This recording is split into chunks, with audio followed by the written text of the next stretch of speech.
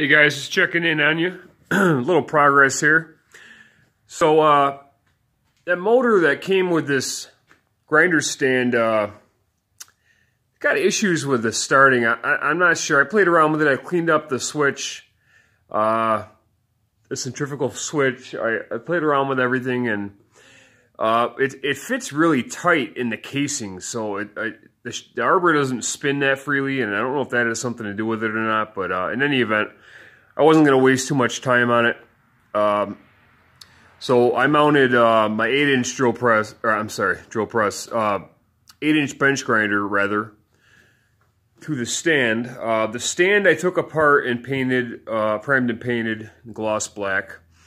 Now, at first glance, it looks like just a basic half-inch uh, steel plate, three-inch pipe, and uh, looks like about a quarter-inch top plate. But there's more to it than that. Uh, there's some real, some solid steel machined um, pieces, one at the top and one at the bottom, and uh, they're they're held in place with a set screw that's on the back. Um, and then they're threaded, so the plate bolts in here and then the bottom plate bolts in there.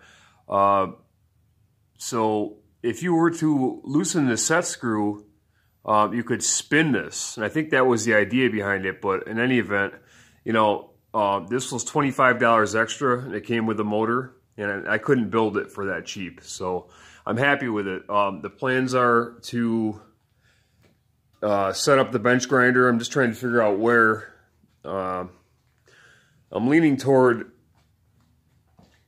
getting rid of this table here and setting it up in this space.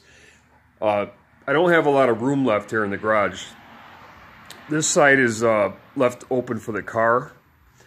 So, um, you know, I'm just, if, if you can see here, I'm, I'm just kind of jam-packed. So I'm thinking of getting rid of that table, setting up a stand there. Uh, I'm going to fabricate a similar stand for this bench grinder, so I'll have the pair. Uh, it's nice to have both. This one is, is more mild and uh, kind of easier to work with. The big one, uh, you know, it's got some power to it, so um, so that's what's going on. That's all set. Now, I'm trying to, right now I'm working on this vise. I'm doing some, uh, some body work, if you will. I'm, I'm making the metal all perfect, all the edges. You know, my OCD is kicking in. So uh, any big gouges or, or issues, uh, it's getting welded. So I'm in the process of doing that tonight. Trying to get a pretty good jump on it so I can get it ready um, for prime and paint. But I'm trying to rush through the vise, you, you know, so I can get to this. This drill press. Now, excuse the lighting. So, uh, I went through it real quick and took off a couple knobs and stuff, you know, and cleaned them up. Just kind of couldn't resist. Uh, Jacob's chuck is perfect. I mean, just what a nice piece. I think the price was right. Um, that base plate is pretty good size, I must say. So I just have it on the dolly cart for now, and uh, I'm 6'2", and it's about about as tall as I am. So you figure probably knock five inches off. It's probably a good five and a half foot from the ground up, anyway. So I almost can't wait to get my hands on it, clean it up. But uh, really nice piece. It also came with a spare belt, which is kind of cool back here. Uh, so it's got a it's got a Sears Craftsman belt on it right now, and then it came with this belt for spare. Uh, so I'm basically just going to take it all apart, clean it all up. I'm going to paint um, certain areas on it, and I'm just trying to figure out whether or not I'm going to get rid of this box. Let me walk over here. Excuse me. Uh, trying to get rid, figure out if I'm going to get rid of this box or not. Um, I don't think it was original. I would imagine they probably uh, had some kind of toggle switch, if not just a direct plug-in. But uh, I just, I, have just never been a fan of these big boxes. It's overkill. I mean, it's a huge box. So um, the power cord's kind of janky. I'm going to replace all the wiring and I'll most likely, um, I'll most likely just fabricate a little steel bracket that'll mount to the motor mount, kind of on the right side there, and uh, on a toggle switch right to that. but got to move some stuff around on this on this table here. Um, and then I still got this drill press to deal with too. Uh, this one's been on the back burner for a long time. So it needs some work. It definitely needs some work. Um, this has got to be cleaned up and sanded. Um, it kind of fits down on this.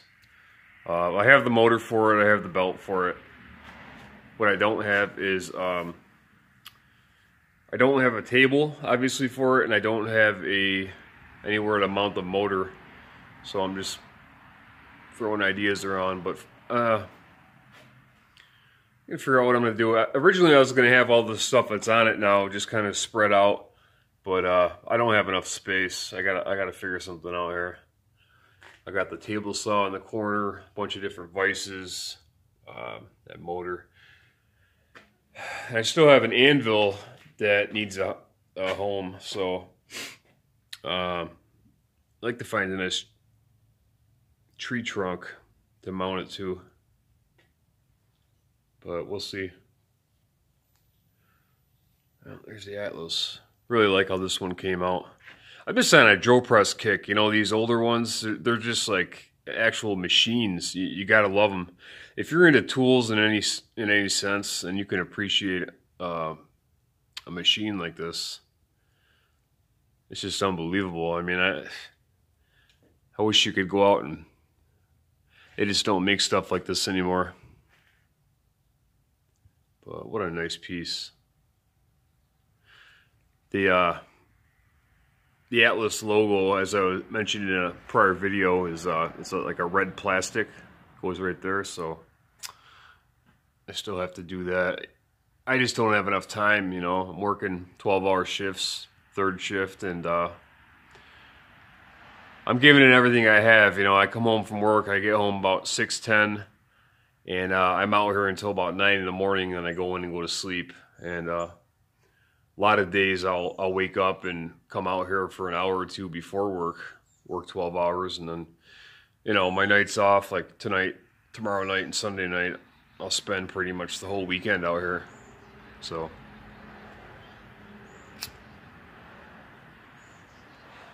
But that's really it.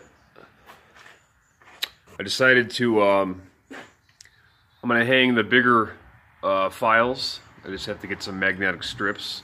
And then I decided to also, um, these are all chisels, wood chisels. Got a little collection of them. I'm going to hang them up. Try to hang them on the same rack. I'm not sure if they'll all fit, but uh, probably somewhere.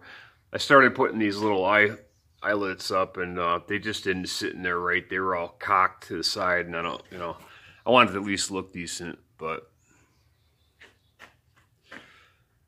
So this is the welding helmet that I use. It's a Miller digital. I've had it since uh, 2000 and,